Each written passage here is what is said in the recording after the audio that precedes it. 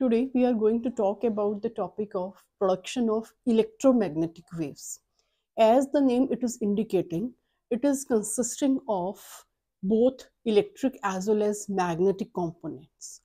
Now the question is how this is going to produce.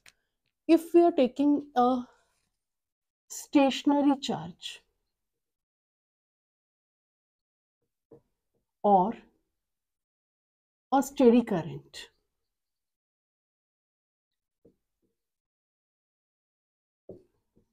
These two are never going to produce the electromagnetic waves.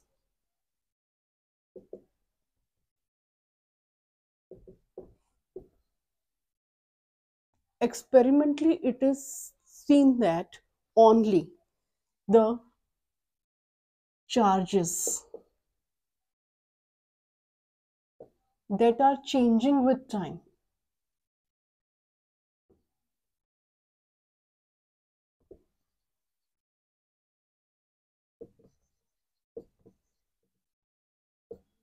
are going to produce the electromagnetic waves.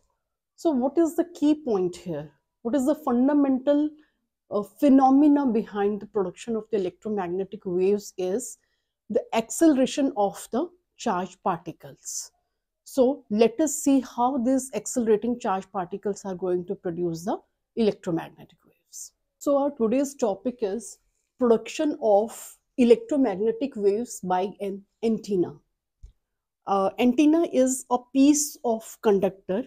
Uh, you can see in my description box where I have given the detail of antennas, the receiving type of antenna, transmitting type of antenna, and it is a conducting length how it is working.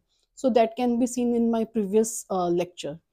Here we are taking antenna for producing the electromagnetic waves and based on our discussion the fundamental mechanism responsible for the radiation of electromagnetic radiation is the acceleration of the charged particles. Now let us see with the antenna a piece of conductor. Let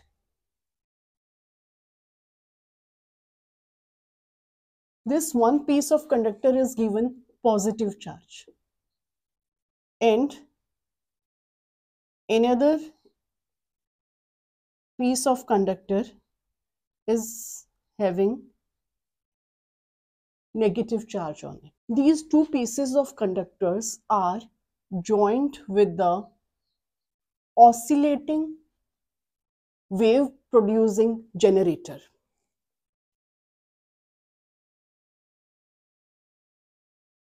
These two are the piece of conductor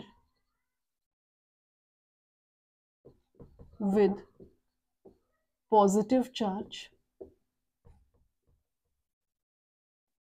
This is the piece of conductor with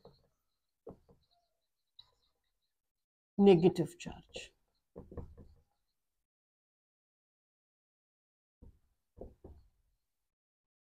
And both of these pieces are connected to the generator that is providing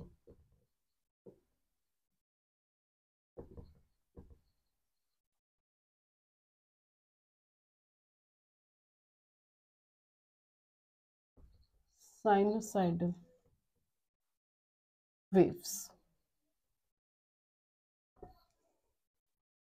Now, as the generator is switched on, there will be the oscillation of the charges between these two rods. And at different time period, how they are responding that we are going to see now. Now, consider the production of electromagnetic waves by half wave antenna. Here, the two conducting rods are connecting to the source of alternating voltage we can consider as an uh, LC oscillator for the same. Here, the length of these rods are such that they are equal to 1 by 4th the wavelength of the waves that are going to be emitted if we are introducing say f is the frequency of the oscillator This in detail already I have discussed in the size of antenna. In the description box, their link is shared for the same for the details. For selection of the wavelength and uh, the size of the antenna, how they are related for the efficient receiving of the waves. Now, the oscillator forces the charges. This oscillator will make the charges to oscillate between these two rods. So, we will consider the time period from t equal to 0 to uh, full uh, one time period that is t.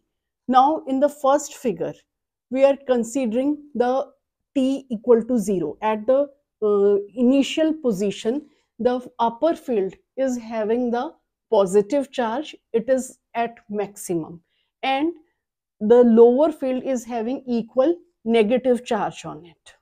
At this moment, the direction of the electric field can be seen. It is from positive to negative. Now, as the time is increased, the charges will decrease from the rods and there will be the charges on the rods momentarily they will be at zero. The field will be zero for the same we can see the variation in the electric field in this diagram. Now at the next half the generator will change the signs as it is going to change in the next half this rod as negative charge and equally this will be charged with the positive one. Now in this case the direction of electric field will be shown upwards and this is how there will be the oscillation of the waves between these two rods and alternating charges will be there on the rods. Now at t, uh, the full uh, time period, the charges oscillate between these two rods and the electric field moves away from this setup at the speed of light. So this is how you are having the waveform. So this is the electric field, how it is going to change along with the oscillation of these uh, charges within two rods have been shown. Along with this, magnetic field is also being produced that is perpendicular to the plane of the uh, board that we are observing. So every time with electric field, magnetic field is also associated when the charges are being accelerated. And this is how the charges are accelerating with the help of this LC oscillator within this setup.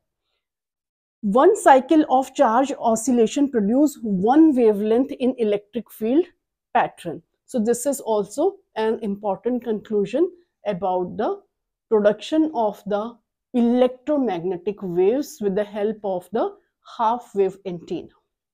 So the half wave antenna's production of electromagnetic waves along with the possible field lines are being shown in this uh, diagram. Here uh, B is uh, for the magnetic field produced, E is the electric field and S is the Poynting vector. I is the current. So uh, the if we first take the magnetic field, the magnetic field lines are shown by the concentric circles and every time this magnetic field lies in perpendicular direction to the electric field. If we take this point B out and this is marker's cap is the suppose arrow it is showing the direction. So B out will be this direction. It is perpendicular to the electric field and to the Poynting vector S.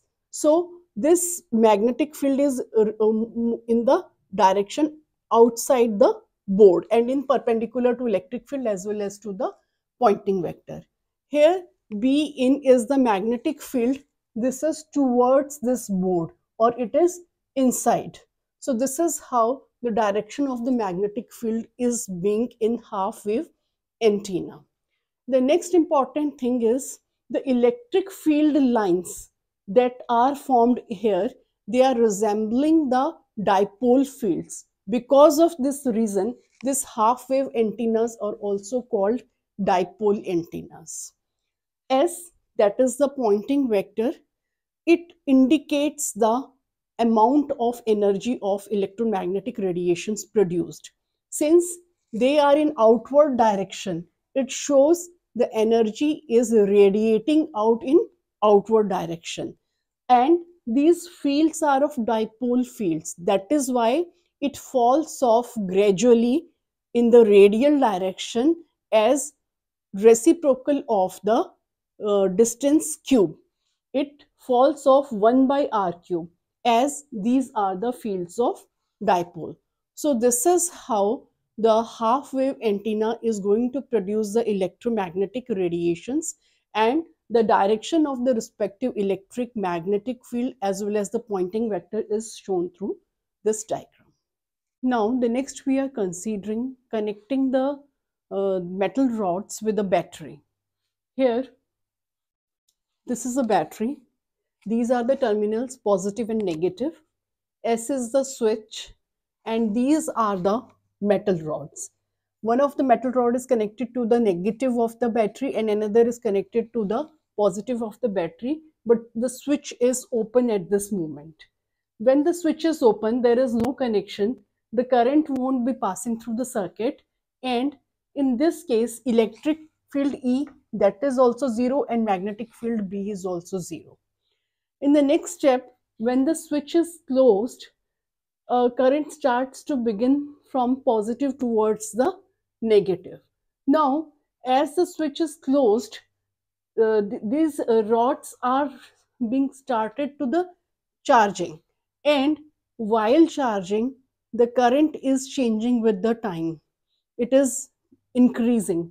So here the rods generate both electric and magnetic field we knew about this thing that only the current that is changing with time is going to introduce magnetic field along with the electric field so this is what has produced here. These concentric circles are showing the magnetic field and in this uh, lines, these lines are for the electric field. They are from the positive rod towards the negative one.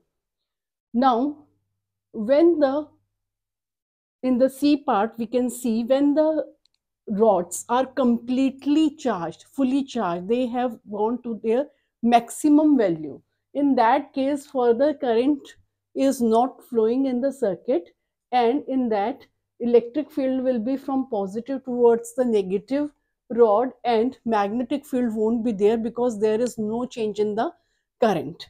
So this is what happens in the uh, C part. In this figure, we can see the electric lines of forces. These are the electric lines of forces that are produced by the dipole antenna. Here the antenna is placed. This is the antenna axis and these are the electric fields radiated outwards. So we uh, conclude important information from here. First thing is this, these electric field lines, they are propagating away and they are moving with the velocity of light. The next thing is the intensity and power radiated. It is maximum when the it is lying in the plane perpendicular to the antenna axis. And this power or the intensity it is zero if they are lying along the antenna axis this thing can be clear uh, from the figure also and these are the conclusion the intensity and power radiated are maximum in plane perpendicular to antenna and passing through the midpoint power radiated is zero along the antenna axis. Now we are having the mathematical solution to Maxwell's equation that he has given for the dipole antennas. According to the Maxwell, uh, whatever the radiations uh, are being produced by the dipole antenna, its intensity is going to vary according to the relation sine square theta by r square. Here, this angle theta it is being measured from the axis of antenna. Here we are having the sketch for the same. Uh, these are the uh, rods of antenna that are connecting to the alternating uh, voltage supply. Uh, maybe it may be an LC oscillator. And this is the axis of the antenna. From here the angle is being measured. So this sketch is giving the idea of the radiations that are produced by the oscillating electric dipole antenna. Uh, we conclude two important things here.